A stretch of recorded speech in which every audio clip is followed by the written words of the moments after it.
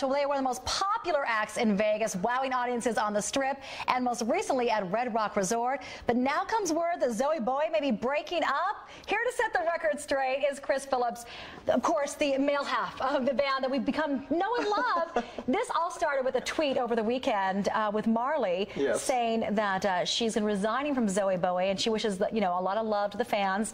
And you're saying this is kind of a surprise, right? Uh, to some degree. We knew that Marley was uh, anxious to pursue her own career doing her own original music, which I'm very proud of her for doing. She's wanted to do this for years. And so I think the timing was right for her to kind of branch off and do that at this point. And uh, as a lot of people don't know, uh, I, I have been Zowie Bowie years prior to her coming aboard. And so I think at this point now that she's decided to go her own direction, we're going to certainly keep the party going. Uh, and, you know, since we've been back at Red Rock, we are so proud to say that the locals didn't forget us, and Good. it's been just absolutely insane out there. Uh, we've been bringing in five to 700 locals uh, every Friday night. Fantastic. We've been turning people away at the door, and we just want to let people know that uh, we're going to continue this on. Of course, I'm going to still say as absolutely as immature and uh, as, as, I've always been. I think she may have wanted to mature herself. And, so I don't She's blame like, her I'm a growing bit. up and, you know, no. But it's, it's really exciting Yeah. for me because I, I kind of have the enthusiasm of like a teenager with a garage band that's playing its first gig because I've been standing next to a significant other doing this for 15 Yes. years. And so uh, what we're going to do and what I'm really excited about is the fact that uh, since it will just be me, I know for sure that I wouldn't want to watch me for two hours either. so we're going to bring in uh, featured uh, female celebrity uh, celebrity singing guests. Uh, as an example, this Friday we have Lorena Perel, Mm-hmm. the new uh, star of the fantasy show at Luxor. She's amazing, Great voice. She's been here on the show with the Sin City Girls. She was She's- performing with for a while. She's amazing. And Yes. then uh, I'm very proud to say that a very dear friend of mine is going to be joining us next Friday, the 15th, Angelica Bridges. Oh, Angelica. She's been here too. And she and her band Strawberry Blonde may even come on and do a little something with us, which uh, I'm extremely excited to see because you know not only is she gorgeous, but she's extremely talented. And so uh, you know I'm. I'm uh, So Zowie Bowie continues, just not in the way.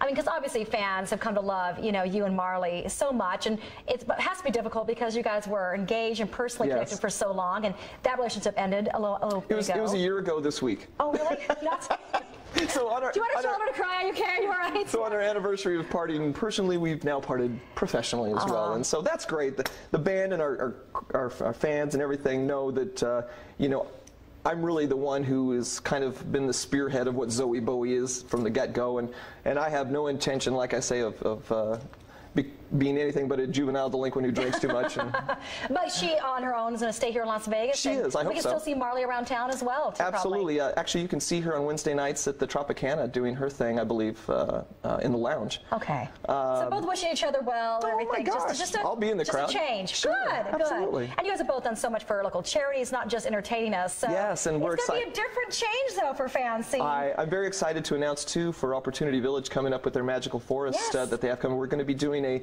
18-piece vintage Vegas uh, holiday show Oh, for them that. out at the Magical Forest. I believe I'm not sure exactly, but uh, I think it's going to be on Wednesday, the 15th of December. And, uh, so my passion really is to keep the essence of what the Maverick spirit of Vegas Yeah. was all about from the beginning, which is the old standards and the, as they were just talking about the Sinatra days Sure. and uh, the, the, that whole era. I think was really a so magical even time. this weekend, you're still on a Red Rock.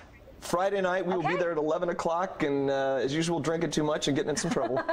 So still, you know, without Marley, without how we're used to seeing Zowie Bowie, but she's going to stay here performing. You're doing your thing, and you guys will both probably, hey, two more acts to go see then, right? That's right. more, more entertainment. You're spreading the wealth. But, you know, we wish her the best. She's nothing but a class act as well. So, Oh, we love her. Chris, uh, congratulations. We're so glad that the actual Zowie Bowie isn't breaking up, even though it's changing, it's, it's evolving, That's right?